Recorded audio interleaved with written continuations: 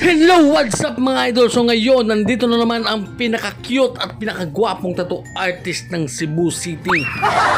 So ngayon mga idol, so shout out nga pala sa ating client na napaka-stig at syempre nanggaling pa ng ah, DJ sa isang sikat din na station dito sa Cebu, ang Brigada Brigada, basta yun, Brigada. So shout out nga pala ni Idol Jawin. So isang DJ yan mga idol no. So shout out sa iyo Idol Jawin. So yan yung request nga pala niya is uh, Jesus Christ. So syempre, yun ang request niya. So ginawa natin. Kasi nga yun ang request ni Idol Jawin. So, sa may binti niya pinalagay ito mga idol, no? So, yung ginamit nating needles dito mga idol is isang klase lang mga idol. Siyempre, yung ating favorito, our favorite needles, yung nag-iisang 17 cm.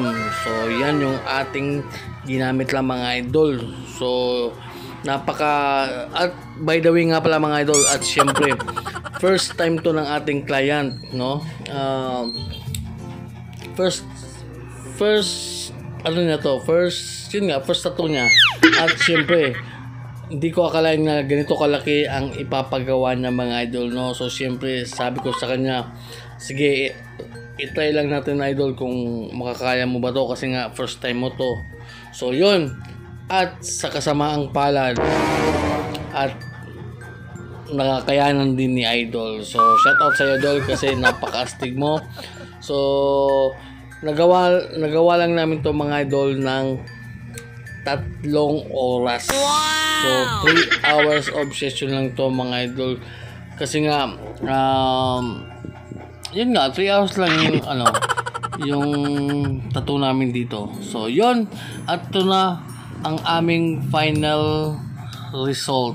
Grabe napaka-astig ni Idol Jawin, you know, ah, isang DJ ah, mixer sa isang radio station dito sa Cebu.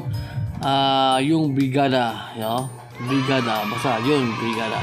So yun, maraming maraming maraming maraming salamat ah, Idol DJ Jawin at siyempre sa sunod sa, sa susunod sa uulitin.